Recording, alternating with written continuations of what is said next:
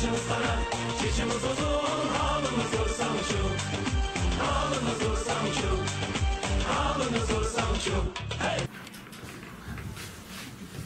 alaykum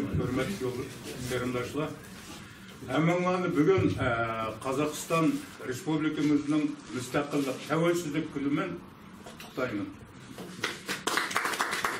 bugun mana mana shu kunga to'g'ri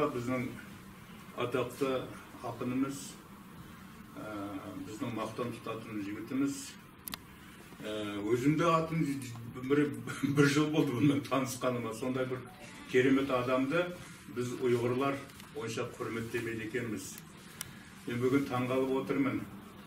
Енді осыны біздің ә, бейбітшілік әлемі қазақ творчестволық бірлестігінің президенті әбен ә, бауырымыз міне ұйымдастырып отыр.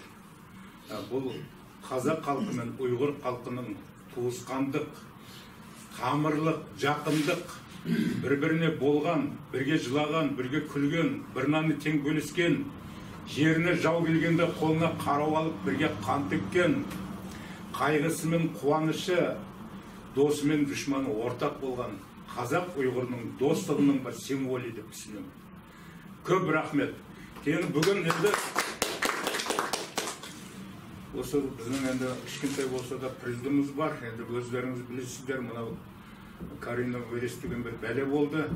Костюм бұрын кигеніміз кимегеніміз бірталай болыпты өзіміздің де. Бүгін міне осы немен келіп отырмыз соған кішкентай сахнамызға. Ә, біздің құрметті бауырымыз әбен нұрмановичті шақырамын. Келіңіз мына жаққа. Ә, ә, республикалық мәдениет орталығынікі білім оқу білімін басқаратын шерікжан. Фамилияңды білмейді екен иә. Ішкенше шәһәрлік мәдениет мәркезінің рәисі исақжан. Үшінші біздің тарихшымыз востоковед шығыстанушы қасым қасымжан қасым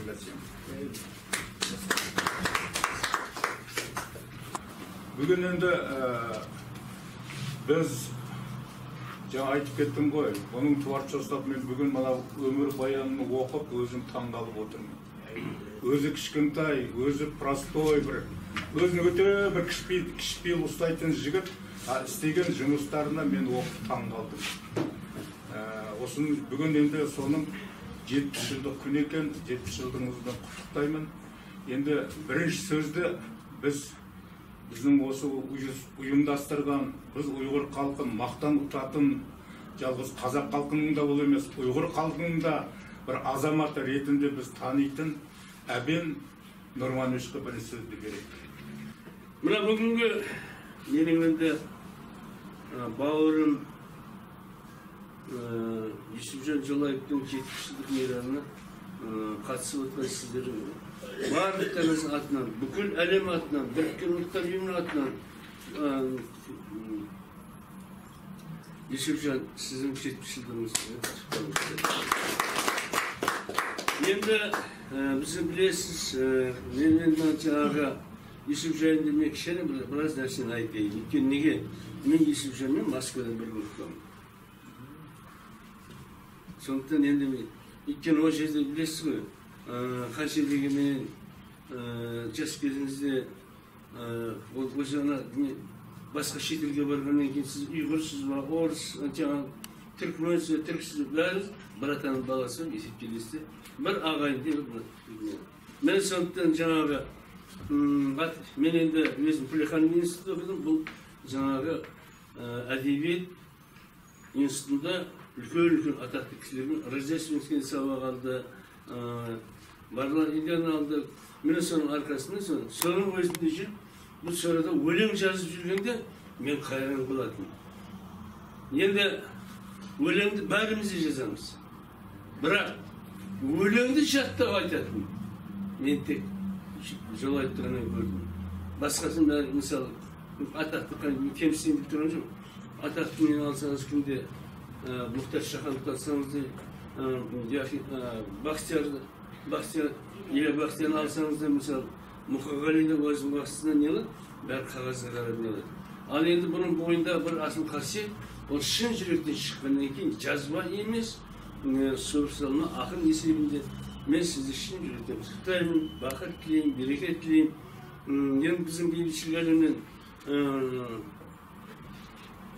алла берекесін берсін шолық медалін алдым халықаралық одан кейінгі жайке бүтін бейбітшілік әлемінің жаңағы несімен алдым оның үстіне қанша марапатын алдым қанша жерде бірінші алла берекесін берсін қанша жерде түркияға да бірінші жіберген мына бейбітшілік әлемі мына қазақстан бойынша оралда астанада шымкентте түркістанда бәрінде кездесу өткізіп беретін мына біздің бейбітшілік әлемі сондықтан Жүсіпжан біз сіздің мына бұрынғы дәл бүгінгі жеткен жетістігіңізді емес сол жетістіктен де зор ұлы не дамуымызды әлем халқына ұйғыр халқының ұлы ұлы екенін сіз жеткізеді деген үмітіміз бар сондықтан қазақтың жақсы бір мақалы бар сосын где наши подарки давай қазақ бірінші жақсы көргеніне не береді шапан береді ат береді ана жерде ат кел кел кел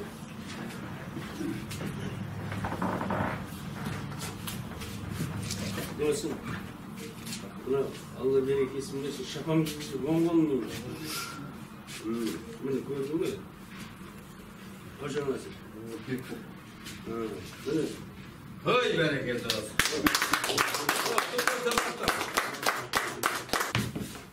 Gör şırma. Güzel bir sizin kutunuz. Etap.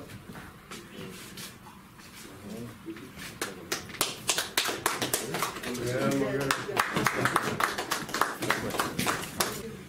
мынау сұлтан махмұд торайғыровтың бір сөзі бар. Ел болу үшін намыс керек мал жанды намыс үшін салыс керек.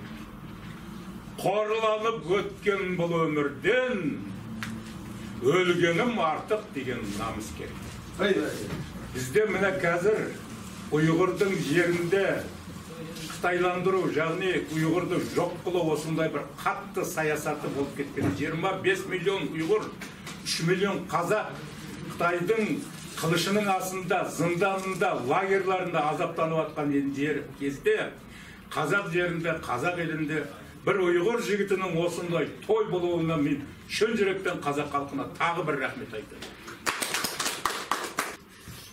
бүгін бір қошаллық күн біздің дәулетіміздің мұстақиллық алған күні екінші болса ә, біздің әнде ұлтымыздың туылған күні әнде ә, қош мейрам әнде қош қош мейрамға жан болып мәшәді жығылып отырмыз әнде әбекең эме нағайты орындық сөзлепті біз алтынның қадірін білмей тұрған тарихларға өтіп жатырмыз біздің бірлі ұйғыр баласы ешқандай янчугун пулу жоқ ешқандай поддержка жоқ москвадагы университетке өзінің екілі біле түшті кім түшті азыр міне әбекен кетіп жатыр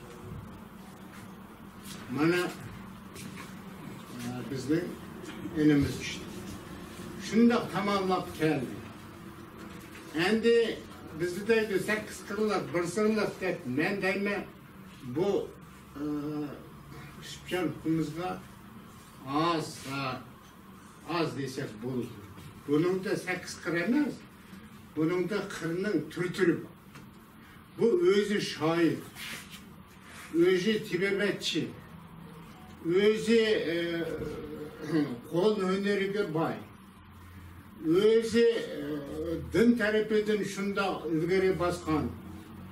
Өзі шында өткір не бір сөзләні тәуілтіп ете алайдыған жігіт. Әмме нәрсе бар? Қолыдан келіп. Әнде үкам рәнжіме бір нәрсе бар. Адъютант его превосходительство деген Союзда чоң бір яхшы кино бар. Шәді бір балығы дейді. Все беда в том, что ты очень много знаешь.